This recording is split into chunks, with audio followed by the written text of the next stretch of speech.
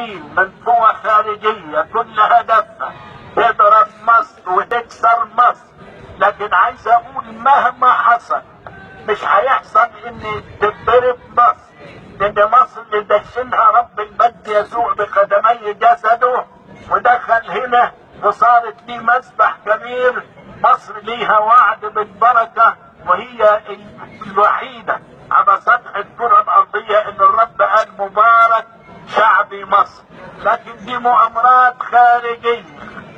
أنا ماليش في السياسة ولا ليا هدف والكل يعلم. دي مؤامرات خارجية. إن يقوم المسيحي ضد المسلم وتبقى هوجة زي ما أنتوا عاملين كده. بل بالعكس إحنا نروح نصلي ونشكر الله ونحب من المسلمين ونحب مصر. وعايز أقول للجميع ان مهما حصل هتزيد محبتنا للمسلمين وهتزيد محبتنا لوطننا مصر والعاقل هو اللي يروح يصلي ويرفع إيديه وما يديش فرصة للمأجورين إنهم ينفذوا خططهم لأن كل الهدف إنك تيجي تعمل مظاهرة وثورة ضد البلد لكن البلد ورئيسها وحكومتها وكل اللي فيها إحنا نصلي من أجلهم وربنا يحفظ مصر ويعزي كل المصابين. ربنا يكون معاكم. انصرف بهدوء وبلاش بلاش المظاهرات.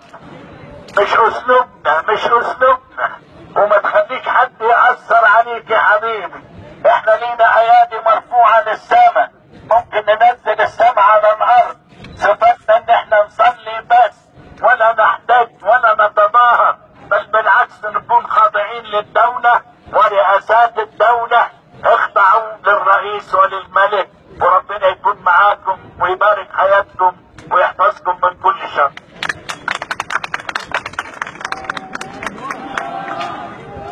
Yeah.